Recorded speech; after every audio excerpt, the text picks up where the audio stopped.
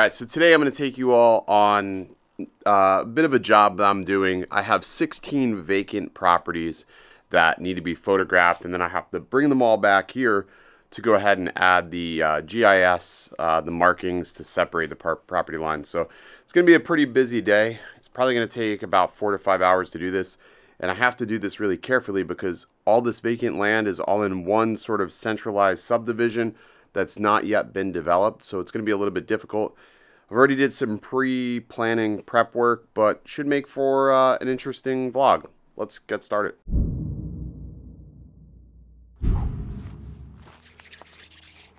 I gotta tell you, this place is out there. Wow, it's out here. So uh, I've got a little bit of a, a, setup to do here. I've got the laptop, the drone.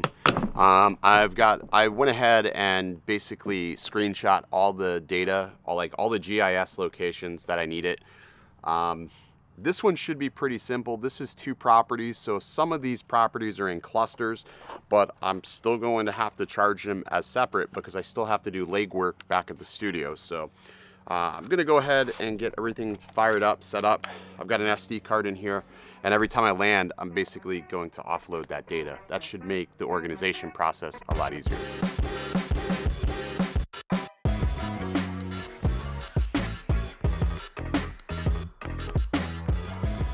Woo, now the first, the most fun is waiting on the GPS. Got six satellites.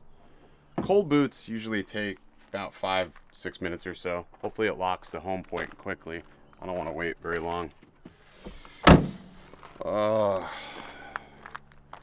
the most annoying thing about this is just sitting here waiting. So still sitting at six satellites.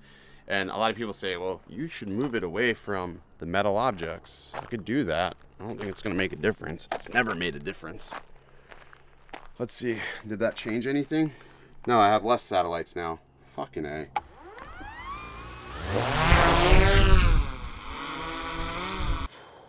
All right, so that's technically two properties done because this was a cluster of two, so. All right, only 14 more to go.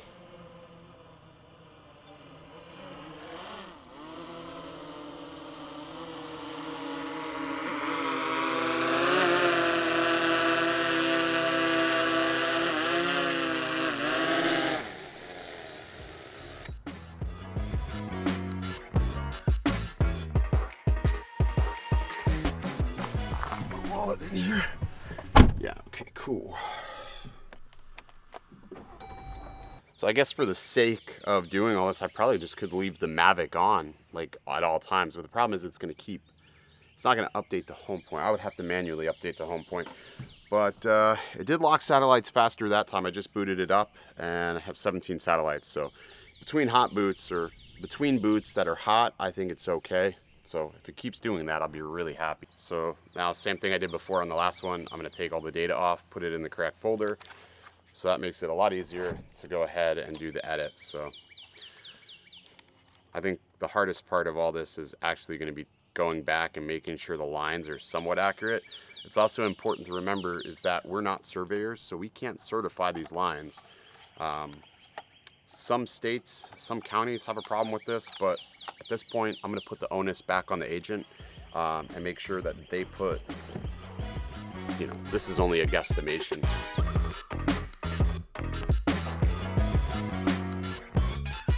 I was just thinking about way out here. There's like literally no houses really. There's like far and few between on the houses, but this would be this would be one of the okay places like if you wanted to do some sort of tracking with the Skydio. I think that this could be one of those spots because like there's a house here, but for the vast majority of these roads, there's no houses. This this community isn't really developed yet. I don't know, just thought it's pretty interesting. All right, 13 more to go. Alrighty, so this one's a little bit more difficult. So we have this crossroad here, and I believe the property is somewhere on here. We don't really have any sort of um, I guess, beacons or any sort of landmarks to really go off of, um, trying to determine where it's at. Uh, but there's this crossroad back here on this other property line, but I don't know if we're gonna get up high enough to actually see that. So I'm gonna get it in the air and see if I can't sort of emulate what I'm seeing here. I should have paid a little more attention to the road I came in on. So some of the maps aren't right. And, uh, hmm, damn it. So now we gotta go all the way back around to try to get around this thing. Son of a bitch. Alrighty. All right, so this looks right. At least according to, to the map that the agent gave me, this looks right. So get this one done. This is gonna be a cluster of two. So we got two for one out of this one, which is a good thing. Whew, all right. It's another two down and uh, feel pretty good. I feel relieved, mostly because I peed right here. It's one nice thing about working way out in the middle of BFE. There is uh, bathrooms abundant. All right, let's uh, pack up all the gear. Got all the data converted over. 10 more to go. Alrighty, I'm pretty sure that this is property number eight. So we're halfway through. And the last couple of ones are gonna go super easy because it's four properties all right next to each other, which is gonna make life really easy. Um, for, for all of these, I'm still gonna bill them as individual properties. And then basically all I'm gonna do is take them back uh, to Lightroom, do some minor adjustments, and then take them into Photoshop and just replace the skies, um, which will make my life really easy because then, like I said, single exposure shots, one exposure for all these and it'll be perfect. Then I just got to add lines. So, so far the Mavic 3 is performing really well. Um, now I had to drive about five miles, so we'll see if we'll see if the drive between the last shoot and this shoot affects uh, the overall performance on GPS. I don't think it will. I mean, it's been locking pretty quickly since the first boot, which is awesome, um, making my life really easy. I did burn through one entire battery, so we're on our second battery. I have six batteries with me. I think that this one should be able to take me all the way to the end. I don't know if that last battery was fully charged. So we'll see how quick this boots up, see how many satellites I get. Uh, I'm just waiting for it to connect. And uh, yeah, so 19 satellites actually. So wow, we're basically ready to take off. Has been updated. Please check it on the map. Cool. So I mean, after that first initial boot, yeah, we're, we're, we're locking pretty quickly. So that's a cool thing to see. All right, so something a little bit unexpected happening on this shoot for this piece of land is the fact that we've got some red-tail hawks that are basically chasing the drone every single time I get up in the air and they're like dive bombing at it. I'm really not trying to lose a drone in this location, but see if you can see them. It's every time I get elevated, so I'm having to take some really funky angles of this place because there's no other option. And um, damn it, this sort of sucks. Holy shit, that was nuts. They were like barrel rolling at the drone. That's the wildest thing I've ever seen. Like anytime I'm seeing any sort of birds of prey as of late, I don't even tempt fate with it. I'll just usually keep it low, keep it in sport mode to give myself the best chance of escaping a situation like that. Because honestly, they probably would have took it out if I didn't come down and go back the other way. I went all the way over far back um, away from them, or they must have a nest or something, maybe, I don't know. Um, and maybe I could be wrong. Maybe it's not a red tail hawk. Whatever it is, it has like a V-shaped tail, and they were like barrel rolling at the drone. It was the craziest thing I've ever seen. But we got the shots, luckily, so hopefully that is enough for this spot. Alrighty, technically this is the almost the last one.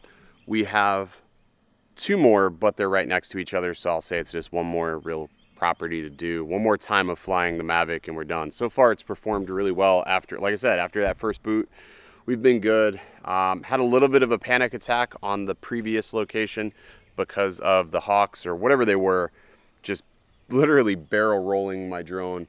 And you know, unfortunately, I don't see anything flying, but you just never know what's going to come out at you until you take off. So hopefully we can just make it through the rest of these shoots with no incidents. All right, so quick lunch and then back to the studio to do the edits on these files. I have to get all 16 of these properties done tonight because Monday I have five shoots plus a video to do for a client tomorrow night and trying to edit this vlog together really not not sure how I'm going to do it all, but I'm trying to get everything done because the weekend I'm going away with the family and I have zero intentions on doing any work related crap.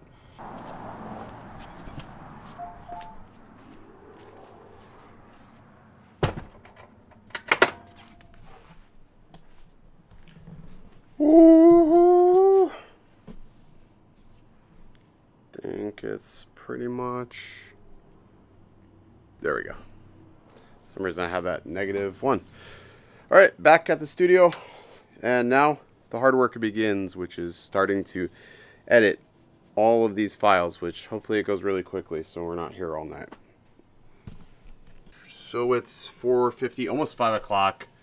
And uh, as you can see, I've been working through these edits uh, quite swiftly. I've got eight properties completely done, eight more to go. I think I'm to take a breather because as of right now, my eyes like can't even focus. 10:14 p.m. Um, I know I look different, right? I actually I went home, I ate some dinner, and I shaved because the beard was really bothering me in the field. Uh, I was like home for maybe two hours, spent some time with the family, and right back here.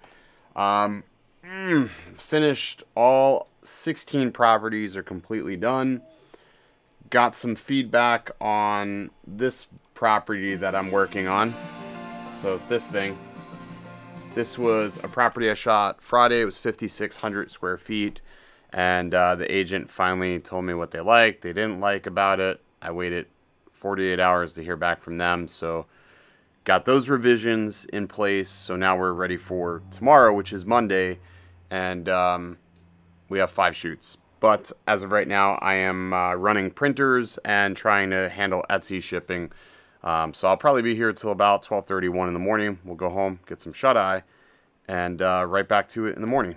All right, that's gonna do it. Hope you guys enjoyed tagging along with me for the day.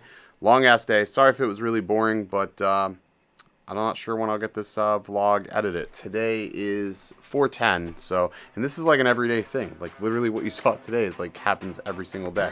All right, hope you guys enjoy. Stay original. See you next time.